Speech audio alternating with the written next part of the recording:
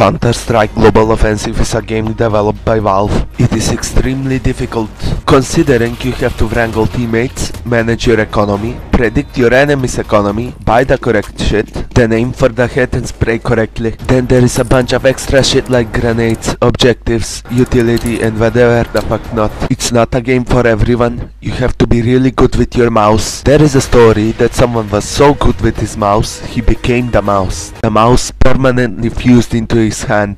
Now he has to use his other hand for certain things. The game has multiple maps, including Dust 2, which is the only map, and Mirage. But Mirage just released and working these days. The game will bring you so many fun experiences, like playing a game with Aldon Hilter, as he only buys a Negev and unpolitely refuses to buy anything else, as we lose 14-16 against 4 bots. This game is fun. In the words of a certain person, this is fucking gameplay. You can play as the terrorists and blow shit up while praising the one god, or you can play as the counter-terrorists who counter the terrorists terrorizing terrorism. Some of the guns are the Deagle, the AK-47, the P90, the AWP, and most important and the deadliest of all, the decoy grenade. Not many people know that every decoy grenade is sent from the deepest circle of hell, where the souls of the damned are burned and seared alive for all eternity.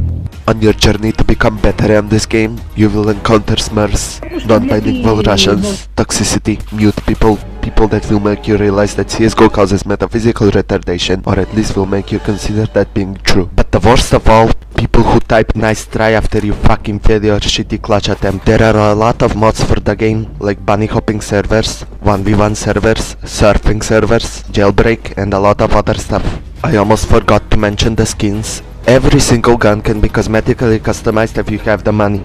Every skin is different and has a different price, ranging from your generic pistol skin to a $1600 knife skin. It's a great game. It's also perfectly fucking free, so go get it.